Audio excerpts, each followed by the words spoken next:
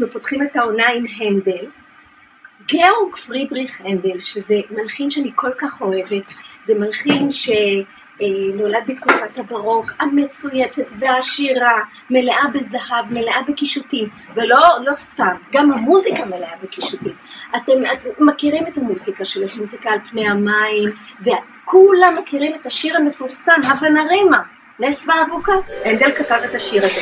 אז ככה, יש לי כאן פסקות וקרים, משום שמחייב אותי להכין את זה עבור הנדל הקטן, שדודה שלו, דודה אנה, מצאה פסנתר בעליית הגן, פסנתר שבעצם קוראים לו כלבים. וכדי שהוא יוכל לנגן, למה?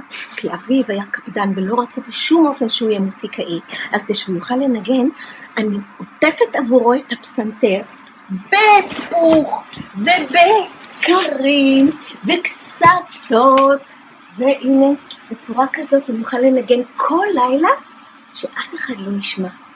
בזכות דודה אנה הנדל הפך להיות מבחין ענקי.